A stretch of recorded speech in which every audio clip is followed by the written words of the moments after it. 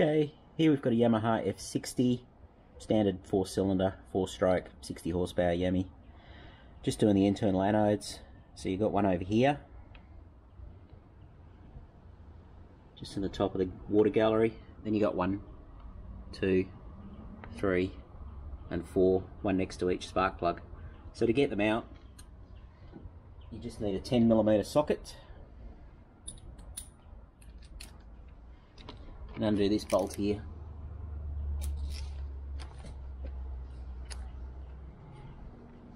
Comes out nice and easy.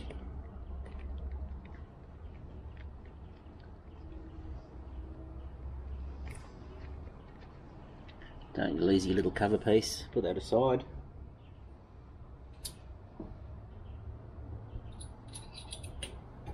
And then we grab give it a bit of a wiggle.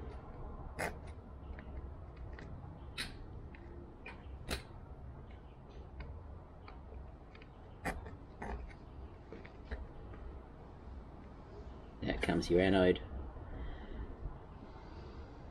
Put that aside. Got a little sealing washer here, so I'm going to grab and pull out.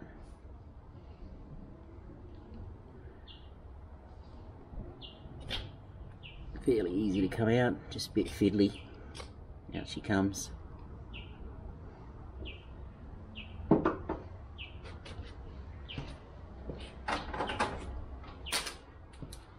Get out our torch. Be a bit bright that one.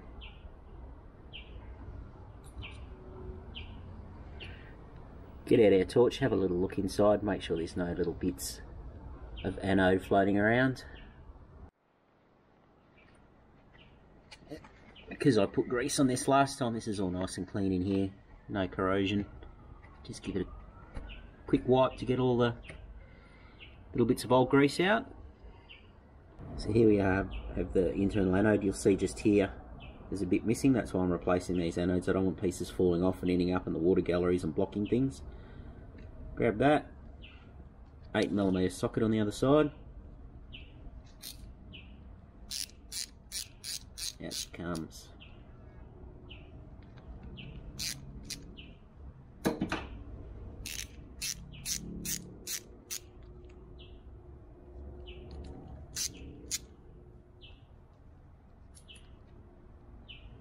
Just for your information, here's the uh, part numbers for not only the anode but the special seal that goes around it.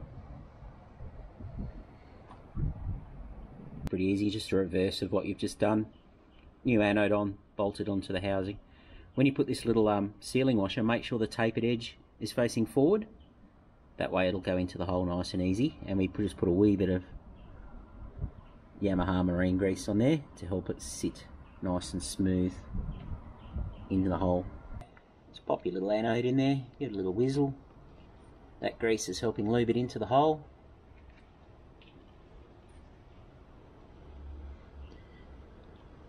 Get your bolt your 10 millimeter socket.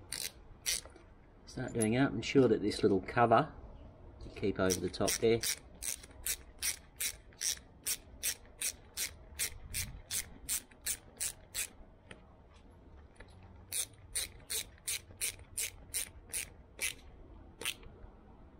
firm without being too firm.